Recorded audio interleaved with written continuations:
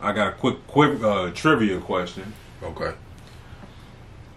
What do you think that the most, the towel that gets violated the most in a hotel room?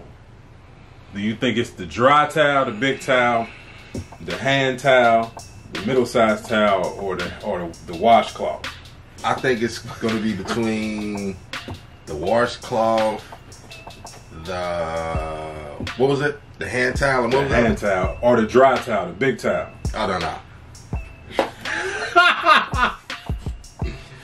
the washcloth and the uh, the hand towel for sure. I think it's the hand towel, bro. Yeah. Cause the hand towel is like I mean, that's what I abuse the most between those two.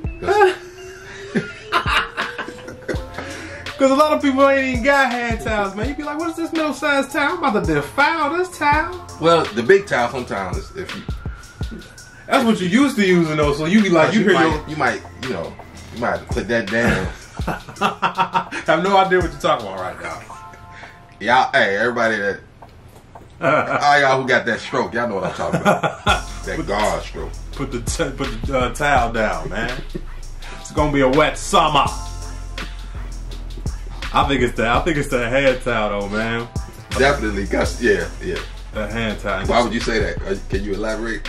Nah, man. I um, I actually was in a hotel room. I just was thinking like, I, cause you know what people go to hotel rooms for, Right. So it's just like I wonder which one of these towels got the worst. Like if, if these towels could talk, Right. but they'd be like, please just leave me alone. I'm so tired. I can't even. I'm not soft no more. When they wash me, I just get crisp up again. Like people throw me behind the counter. Mm-hmm. I be behind the nightstand. Sometimes I don't even get washed for weeks because nobody even look back here. I'm just, I'm soiled. I'm so wet. I'm so dirty. It's all this hair on me. Why is all this hair stuck in me? We have toilet paper. There's toilet paper right there.